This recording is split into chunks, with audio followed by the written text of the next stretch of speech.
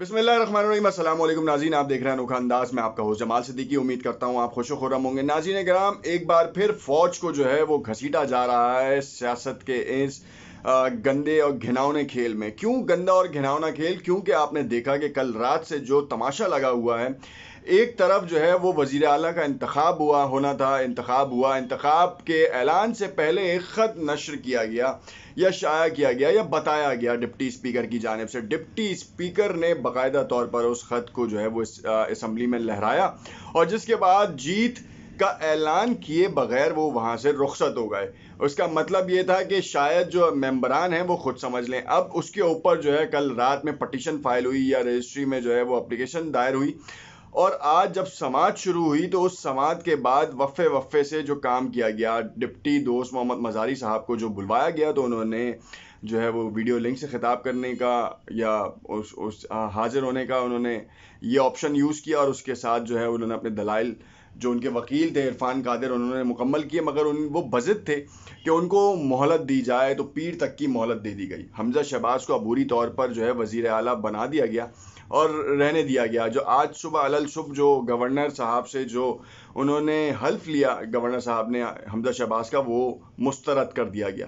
मामला किस रुख पे आप लोगों की ये समझ में नहीं आ रहा होगा कि इस वक्त कल जो चौधरी शुजात का जो मामला था वो जरदारी ने गेम घुमाया। जरदारी साहब के ऊपर जो है वो एक अलग तलवार लटकती नज़र आ रही है कि वो हर वक्त जो है ना वो मैदान में जो है वो पैसों का बोरा लेके निकलते हैं और हर किसी की झोली में डाल देते हैं। अब अगर ऐसा है तो फिर चौधरी शुजात ने ये जो लेटर है वो एक दिन पहले क्यों दिया?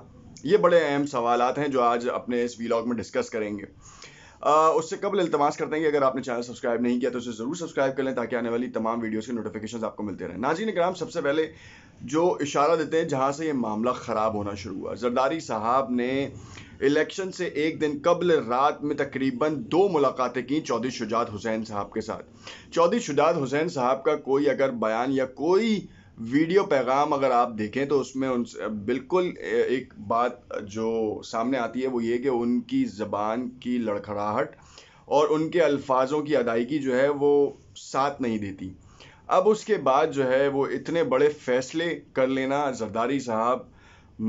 माजी में भी जो है मफामत के बादशाह रहे हैं और कहा जाता है कि जो ब्रोकरी की जाती है वो जरदारी साहब को जो है बहुत अच्छी आती है। अब मामला ये हुआ कि एक दिन पहले चौधरी शुजात के पास जो है वो ख़त उन्होंने जो है ना उससे साइन करवाया। उस ख़त को एमपीएस को जो है वो बाकायदा नोटिफाई नहीं करवाया गया। ये एक बहुत बड़ा सवाल निशान था। वोटिंग हो गई। वोटिंग से पहले क्यों ख़त नशर नहीं किया गया? वोटिंग के बाद क्यों ये बताया गया? और फिर राजा बशारत जब इसके ऊपर आर्ग्यू कर रहे थे तो डिप्टी स्पीकर ने उनको रद्द किया उनके एलिगेशंस को, उनकी बात सुनने को और उन्होंने बाकायदा असम्बली मअतल कर दी या पोस्टपोन कर दी, एक्सटेंड कर दी। फिर उसके बाद पीटीआई के रहनुमाओं ने जो है वो सुप्रीम कोर्ट का सहारा लिया। सुप्रीम कोर्ट के तीन रुकनी बेंच ने आज केस की समात की। उस केस की समात में डिप्टी दोस्त मोहम्मद मजारी को भी बुलवाया गया, फिर उसमें ताखीर हुई। दो घंटे का वक्फा लिया गया, फिर उसके बाद फिर तकरीबन तीस से चालीस मिनट का वक्फा लिया गया और अबूरी हुक्म सादर फरमाया गया और फिर इरफान कादिर जो कि दोस्त मोहम्मद मजारी के वकील थे उन्होंने कहा कि हमें वक्त चाहिए। जबकि पटिशन फ़ाइल करने वाले अफराद परवेज़ इलाही साहब चाहते थे कि आज ही प्रॉपर फैसला आ जाए और नलीफाई कर दिया जाए हटा दिया जाए। मगर आ, सुप्रीम कोर्ट ने जो है वो आ, इसको जो है वो पीर तक के लिए मुलतवी कर दिया। अब उसी के ऊपर मरियम नवाज़ साहिबा का ट्वीट आया और उस ट्वीट ने से ये तासर ज़ाहिर हुआ कि इमरान खान को जब लाडला कहा जाता है तो वो किस वक्त कहा जाता है?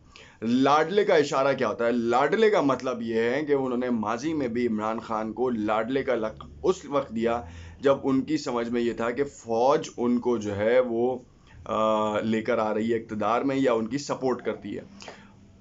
चार माह, सिर्फ़ चार माह कबल अगर आप मरियम नवाज़ साहिबा के वीडियो बयान सुने, प्रेस कॉन्फ्रेंसेस सुने, जिनको बहुत से मशहूर कमर्शियल चैनल जो हैं, वो अपनी कवरेज का हिस्सा बना देते उसमें आपको मालूम हो जाएगा कि इमरान खान को लाडला कब कहा जाता था।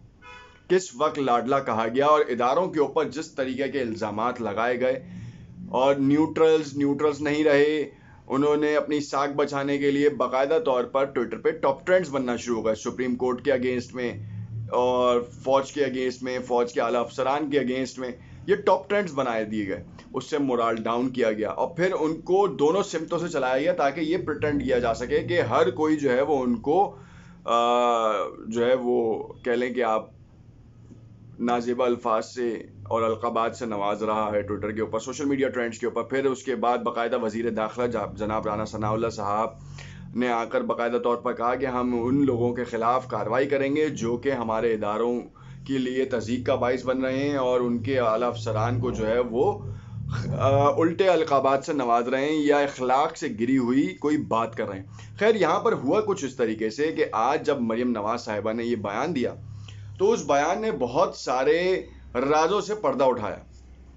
पहला राज तो ये था कि जब इमरान खान को वो लाडला कहती थी, आज फिर उन्होंने लाडले को नवाजने के हवाले से बात की और दरपर्दा जो है उन्होंने क्या सुप्रीम कोर्ट के ऊपर असरअंदाज होने की कोशिश की है या फिर इदारों को इंतबाह किया है, क्योंकि आज मिडिल ऑफ़ द केस एक दी न्यूज़ के एडिटर अंसार अब्बासी साहब ने एक बयान दिया कि इस्टेब्लिशमेंट जो है वो कूद रही है और दोनों को अक्टूबर में इलेक्शंस कराने के लिए राज़ी कर रही है।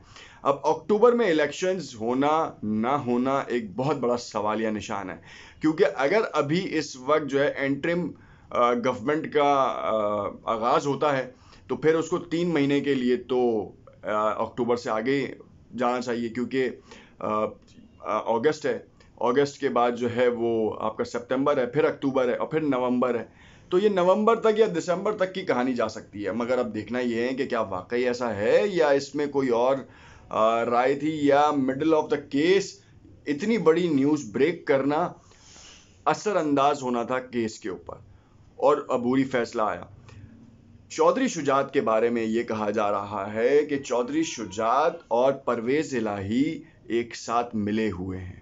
आखिर ये क्या मामला है? कैसे मिले हुए हैं? कौन लोग हैं जो ये बात कर रहे हैं? इसका खुलासा मैं नेक्स्ट वीडियो में दूँगा, क्योंकि ये बहुत इंपॉर्टेंट बात है। मगर यहाँ पे एक बात सुनने की ये है कि इस वक्त पीटीआई भी इस फैसले से खुश नहीं है, मुस्लिम लीग नून भी इस फैसले से खुश नहीं है, और इत्तेहादी जमातें भी इस फैसले से खुश नहीं है। तो खुश कौन है? क्या वाकई अंसार अब्बासी की बात में दम है कि अक्टूबर में इलेक्शंस के लिए इस्टेब्लिशमेंट अब आगे आ रही है और इन दोनों पार्टीज़ को मनाने या इन दोनों पार्टीज़ को कान से पकड़कर जो है पार्टीज़ मीन्स पीडीएम पूरा पीडीएम और पीटीआई को जो है वो टेबल पे बिठाएगी और अक्टूबर के इलेक्शन के लिए राज़ी करेगी। ये कबल वक्त है कहना, मगर आने वाला वक्त बताएगा और इसके हवाले से नेक्स्ट वीडियो में आपको चौधरी शुजात हुसैन के हवाले से बताऊँगा मोनिस इलाही के उस बयान के ऊपर बताऊँगा जो हँसी खुशी दे रहे थे। देखते रहिएगा अनोखा अंदाज़। कमेंट में अपनी राय से ज़रूर आगाह कीजिएगा। शुक्रिया।